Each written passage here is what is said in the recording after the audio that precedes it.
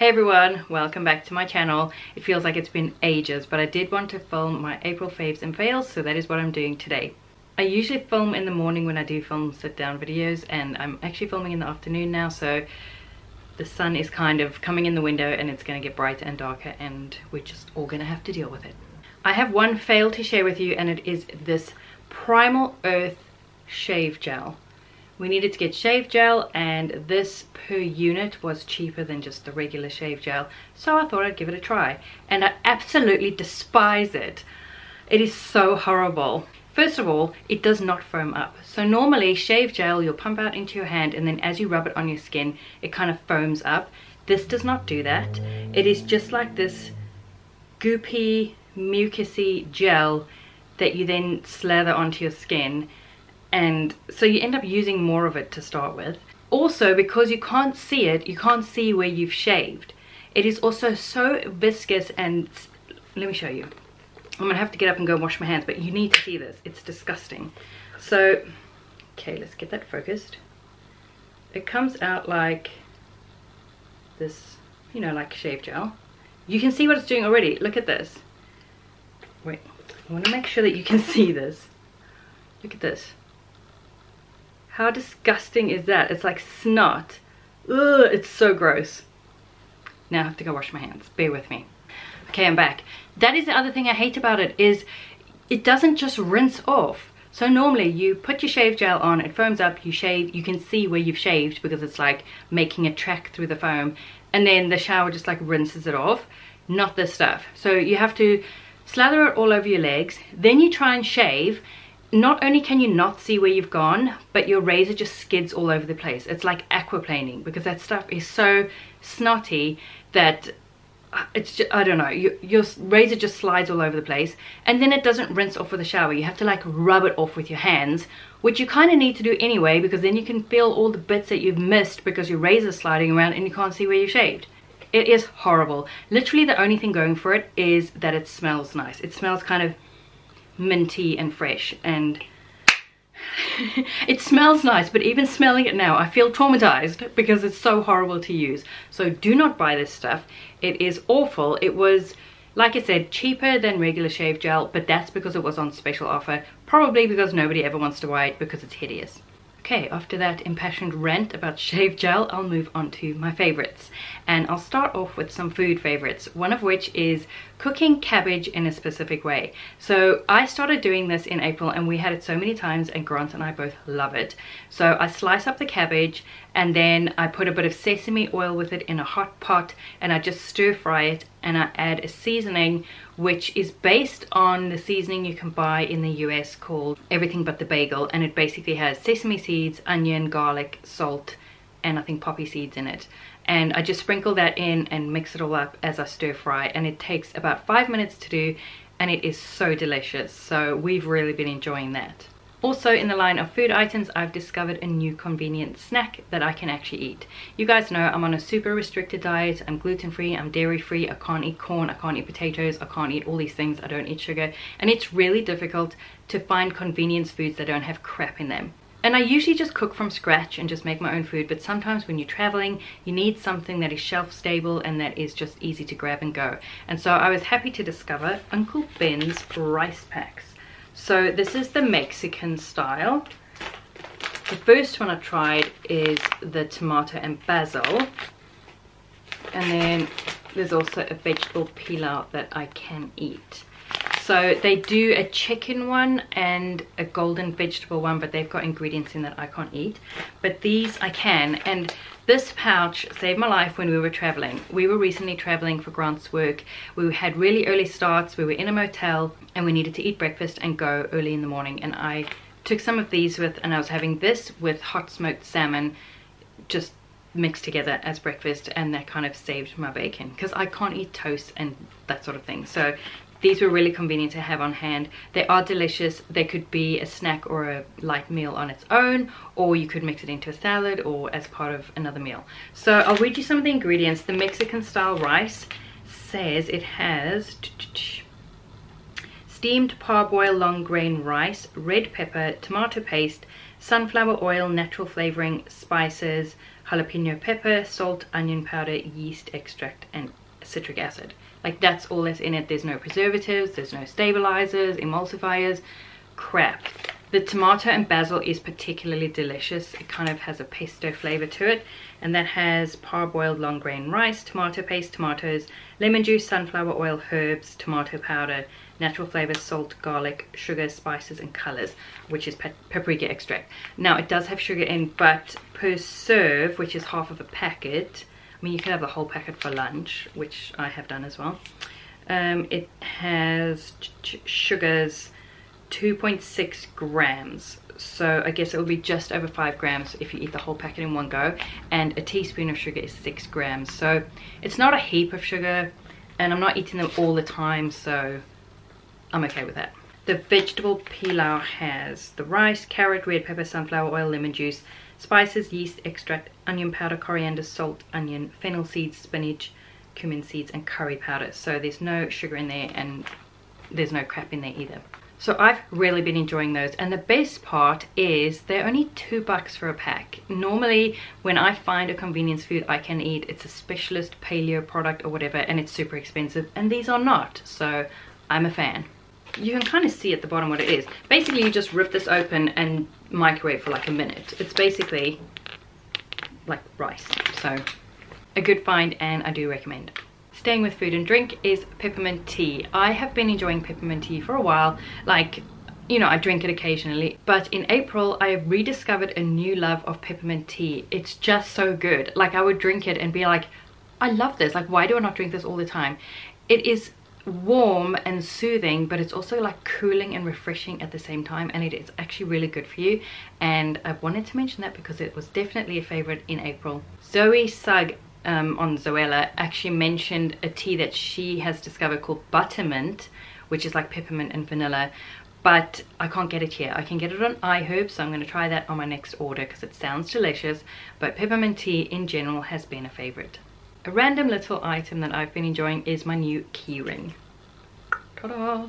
So basically it is this bit. The little pink braided handle and this like grey metal ring and it cost me less than a dollar on AliExpress and I just really like it. It's big enough that, I mean, I like that you can kind of grip it like that if you've got a lot of things to juggle.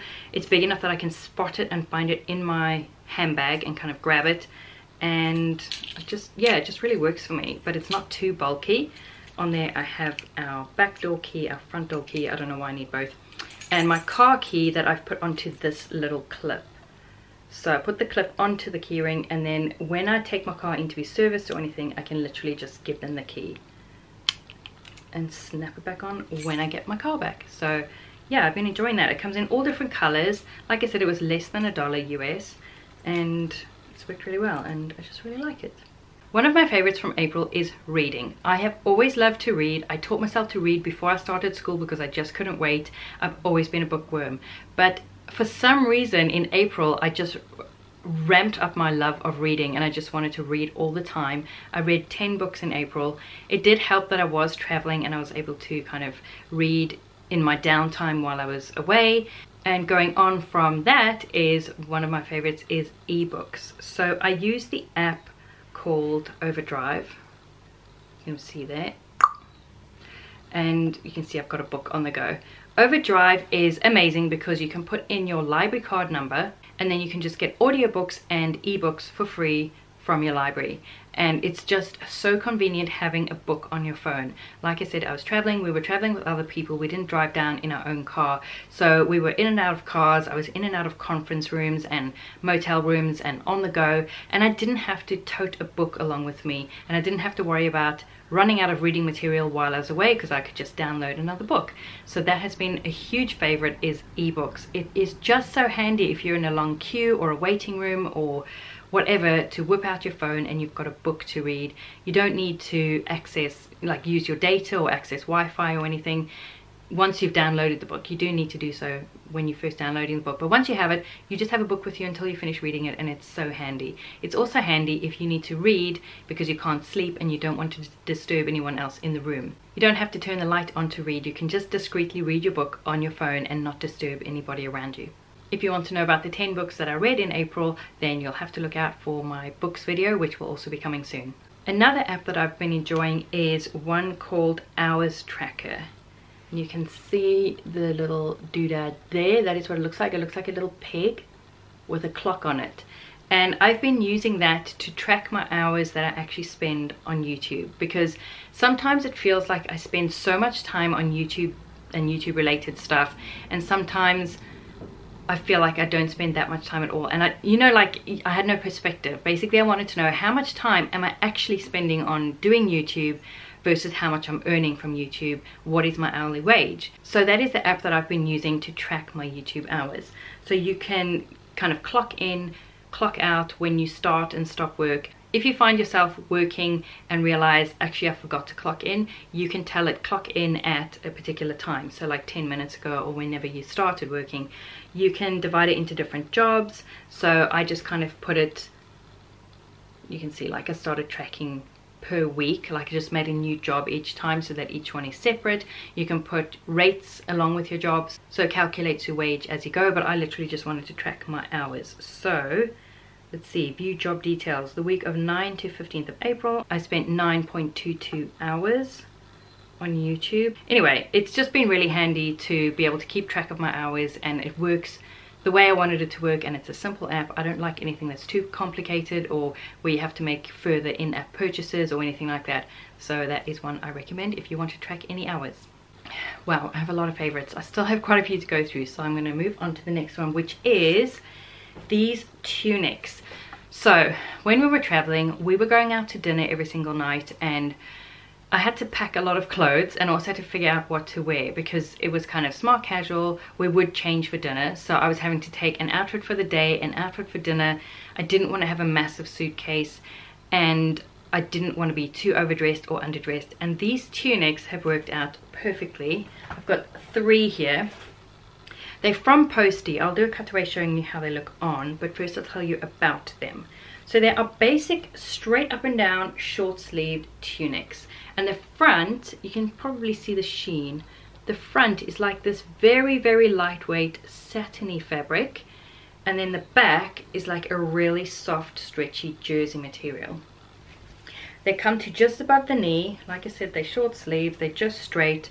I've got them in this pattern and this pattern just like art deco style they come in so many different colors and patterns. And I've also got this floral one. I didn't actually wear this one when I was away. But they are so lightweight to pack. They don't crease. They are $20 each and they're from Postie or Postie Plus. And you can wear them as a dress if you want to. I was wearing them with a long necklace and with leggings and my ankle boots. So you can see how they look and how they kind of skim over any trouble areas. They are so super comfortable. If you're going out for a big meal what is better than wearing a loose tunic and leggings? You can't get better than that. So these just worked really really well for me and well for travel and i highly recommend them. And i think they'd work well in summer as well. Like you can wear it as a dress you can wear it like i did lay it over leggings and with a cardigan on top. And that takes me on to my next favorite which is an oldie but a goodie. Where is it? And it is this cardigan that i got years and years and years ago from Matalan. Now, waterfall cardigans were kind of in fashion, but most of them had like a ruffle down the front and they were longer in front and then they kind of, like the front dipped lower. This one does the opposite thing. So it is this really lightweight, stretchy knit material. It has these little like flutes on the sleeves, like little bell, like bell sleeves, I guess. Just a, a little ruffle at the sleeve and then along the back of the neck and down the front and all the way around it's got a ruffle so I'll do a cutaway here showing you how it looks on I like that it's long enough at the back that it kind of covers your butt but it's not longer in the front. And it has just been so useful and versatile.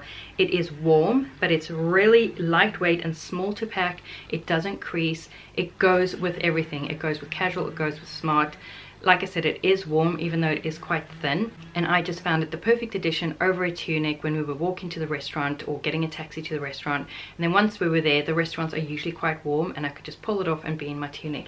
And it just worked perfectly. And I just realized in April how often I wear that. I wear that to church like over dresses, like it goes well over a maxi dress because of the length at the back and just pretty much over anything i'm always reaching for that cardigan it is so handy and i don't think i would be able to cope if i ever lost it or it got damaged or anything because it's it's kind of specific. Like i don't know if i could replace it and it's just so so useful. So that was been a definite favorite in april and pretty much always Another definite favorite when we've been traveling is just having an entire backup set of toiletries in my toiletry bag. I've got shampoo, conditioner, moisturizer, deodorant, shave gel, razor, toothbrush, toothpaste, everything that I would normally use. I have an extra one in my toiletry bag so that when we travel, I can just grab that bag and go. And when we get back, I can take as long as I need to to unpack. I don't get back from a trip and then want to go take a shower and be like, where's all my bits? It's just been a lifesaver and I highly recommend just duplicating everything you use in the way of toiletries and storing them in your toiletry bag so that it's ready to go when you travel. It's just so convenient. Okay, I'm almost done, I promise you. I've got one series and two YouTube channels to talk about. And the series that we have been watching together as a family is Reggie Yates' Outside Man. If you don't know who Reggie Yates is, he is a British presenter, journalist, journalist I think, and he did a series in various countries covering different topics. So he went to South Africa and he, and he, looked at different topics there and he went to Russia and he went to Australia and it has just been so interesting and it's been so worthwhile to watch that together as a family to spark conversations with our kids. Some of the stuff was a little bit gory. He went to South Africa, there were people knifing each other and the medical situation like it was very eye-opening and yes our kids had to look away at times like I was looking away at times.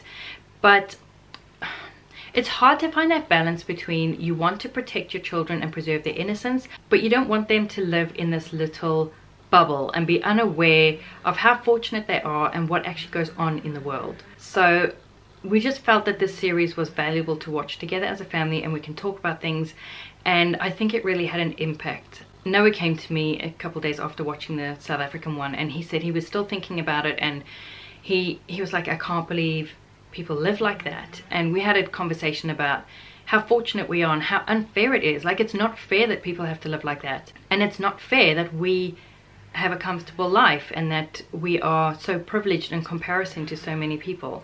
And that's not fair either. And to be grateful for what we have and to be aware of the suffering that other people may experience and see what we can do to help so it's just been a really really good series and I highly recommend it and then the last two favorites I'll mention are YouTube channels. One is Louise Pentland on Sprinkle of Glitter. I have been watching her for about 10 years now. I've been watching her for ages and ages, but I've just been so particularly enjoying her content lately. And she's one of those YouTubers where no matter what she uploads, I will watch it even if it's not particularly relevant to me. So I've just really been enjoying her videos. If you don't watch her videos, definitely go and check them out. I love how down to earth she is, how real she is. She's funny, she's so funny. She filmed this vlog recently where she was just having one of those days where you kind of plan how you want it to go and then it doesn't go that way. And she was like crying because all she wanted to do was pre-chop her vegetables. She just wanted to be the person who pre-chopped her vegetables that day and she couldn't and she was like crying about it. To be fair, she's like recently had a baby. She's got a two month old baby. So hormones had something to do with it. But your heart goes out to her but like it was so funny at the same time anyway i just really really have been enjoying her videos like i said i've been watching her for years but her content i think is just it's just my cup of tea at the moment so i highly recommend her the other YouTube channel that I've really been enjoying is The Bite Shot. It's by Joanie Simon. She is a food photographer and she does videos showing different techniques or mm-hmm. editing techniques or tips and tricks to do with food photography. And her work is stunningly beautiful. I like how she presents. I like how she styles everything and I just really have been enjoying her videos. So if you are interested in photography or food photography in particular, then definitely go and check out The Bite Shot. As always, I will link everything down below. Wow, I hope this video isn't a million years long. Thank you so much for watching and I will see you in the next one.